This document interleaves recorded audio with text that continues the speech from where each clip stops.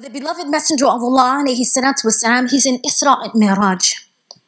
He's literally traveling through the heavens with salam on Isra and Mi'raj. And as he's traveling, the Prophet wasalam smells something so beautiful. He can't ignore it. And I want you to I want you to imagine this because the Prophet wasallam when he arrives, right?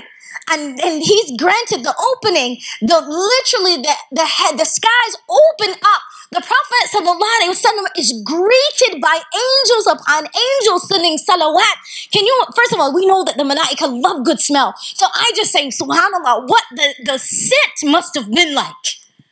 Right? From that, just the smell of the malaika smell of the, the, the first heaven and the second heaven and the third heaven. And he sees scenes, subhanAllah, of Jannah, what that must have smelled like. But then for the Prophet, alayhi, to have a smell that exceeded that, that made him stop in his tracks and say, Ya Jibreel, alayhi salam, what is that smell? What is that? And he says, Oh, this is the smell of the hairdresser of the daughter of Pharaoh. He doesn't even mention her name. He says, This is the smell of the hairdresser of the daughter of Pharaoh. First of all, this is like, okay, now I'm, I'm really bad at this, so you guys have to help me out. When you're a hairdresser, you're a blue collar worker? Yeah? Blue collar worker? Okay. You're basically like, you know, you're not like CEO of a company you're not like, you know, some high status. You're not coming from like some high status. You're you're the hairdresser, not a pharaoh's wife, not like the hairdresser of the queen. No, you're the hairdresser of the daughter of Pharaoh. And so, subhanAllah, the hairdresser, the, so the Prophet wasallam is like, I, I, I need to know, like, what is so wonderful and significant about her that subhanAllah, I can smell her i can smell her while i'm traveling right through on my journey to meet allah subhanahu wa ta'ala. Right so tell me tell me about her. And so he says well he begins to narrate to our prophet sallallahu alaihi wasallam that basically one day she's combing the hair of the daughter of pharaoh and she drops the comb. And as she drops the comb subhanallah she goes and she picks it up and she says bismillah so the daughter turns around and said, What did you say? She said, I said, Bismillah. She said, Are you talking about my father? She said, No. No, child. I'm not talking about your father. Right? She says, Allah Rabbi wa Rabbuk wa Rabbil Alameen. That Allah is my Lord. And you know, you probably don't know. Allah is your Lord. and the Lord of the universe. And so the daughter becomes angry. She's like, I'm gonna, I'm gonna tell my father what you said. And the hairdresser said in my southern accent, Go run tell that. right. And so she goes and she tells her father, right? Pompous princess, right? Daddy, my hairdresser said, Bismillah. And so he says, What? She said, Yeah. She's been infected with this religion of Musa. So, you know, in father fashion, in tyrannical father fashion, he says he's got to prove to his daughter, right, who he is. So he says, Well, you go, you tell her to come here. You tell her to report to me. So she comes. Right? Here I am. He said, Do you believe in the Lord of Musa?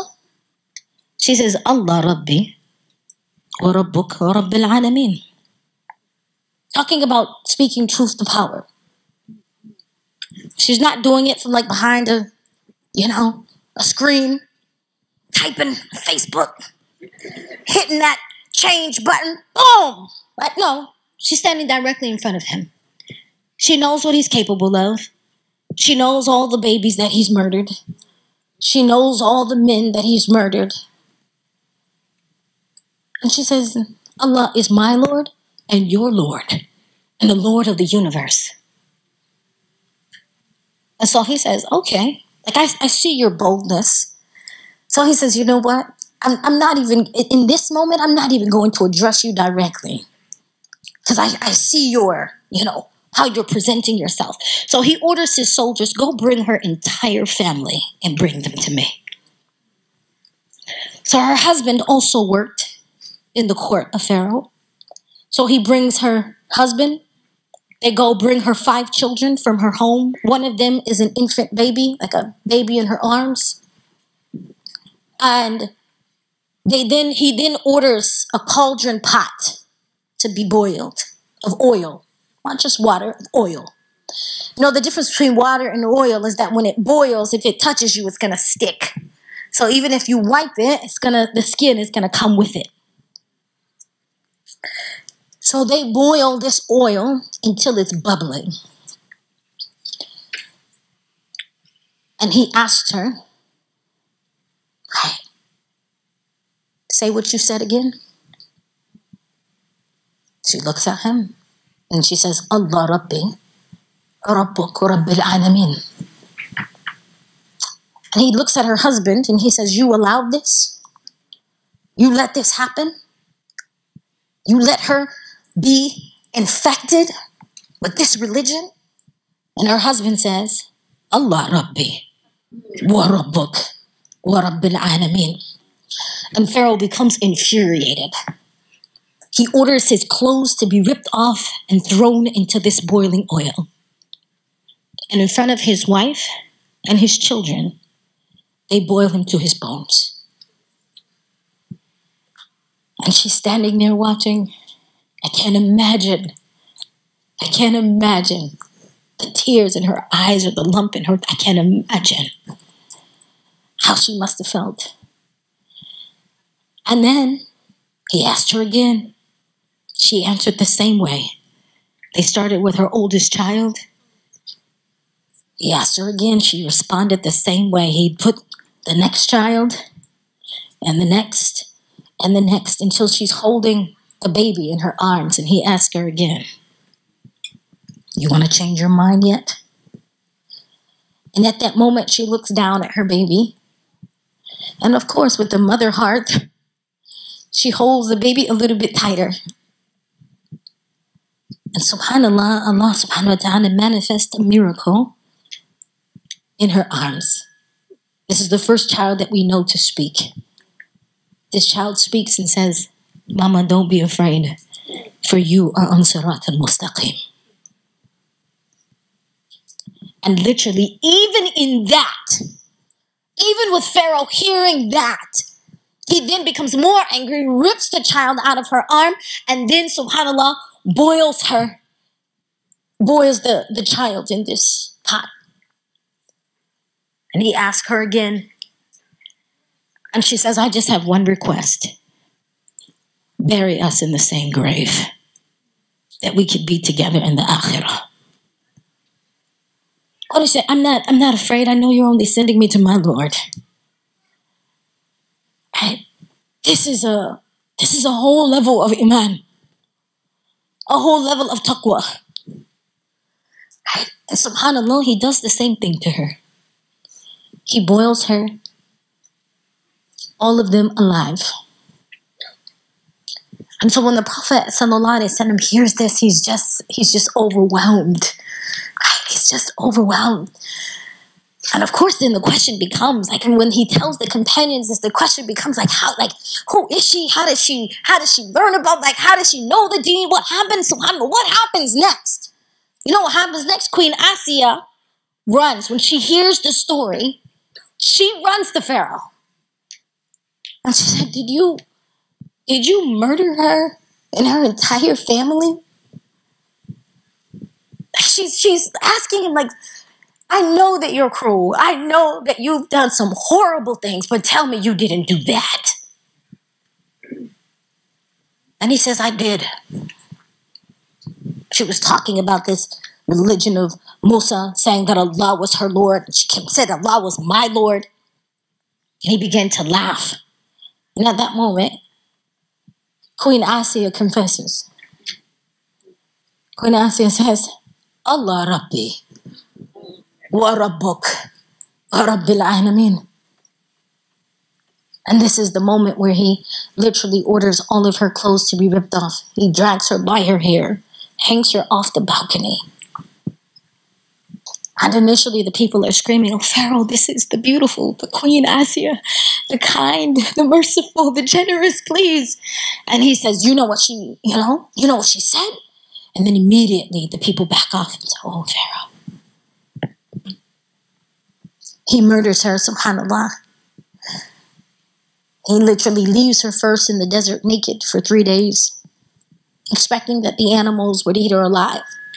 And he sends the soldiers to go find her after three days. And when they find her alive, they literally drag her back by the, by the horse. They drag her back. And when she gets there, he's like, You're still not dead? So then he orders a horse to be tied on one side of her and another on the other, and he keeps whipping the horse until it's literally separating her limbs and the skin from its bones. She begins to make a dua that's mentioned in the Quran. She says, My Lord, build with me, build for me with you a house in Jannah. And Surah Al-Tahrim, she meant like, build for me with you a house in Jannah. And subhanAllah, Allah subhanahu wa ta'ala literally shows her in that moment the malaika building her home. She smiles. She smiles. Pharaoh becomes enraged. He says, How dare you? How dare you? I'm torturing you after everything I've done, and you smile? Why? You smile? And she says, And save me from Pharaoh and his and his and, and the evil, his evil folks, his evil the evil people who come with me. Come with him. And in that moment, subhanAllah, he's he's so angry that she smiled. She makes this dua, like save me from him, Ya Rabbi. So he then orders a catapult to crush her body. Right before the catapult comes, the catapult's a rock, a stone, a boulder to crush her. Allah subhanahu wa ta'ala removes her soul. Now you might be wondering, why do I tell you this story tonight? Because in these moments, what will you do for Allah? What will you withstand to say, Allah, I won't, I will not deviate from this deen? I am, how will you say, I'm not concerned about the people. I'm not concerned about their opinion of me. I'm not concerned about my perceived notion of what they might do to me, whether imagined or real. I'm not, I don't care. What I care about is what does my Lord think of me? I'm concerned that I'm going to face my Lord one day. Will my Prophet sallallahu wasallam smell me coming with a beautiful scent? Subhanallah.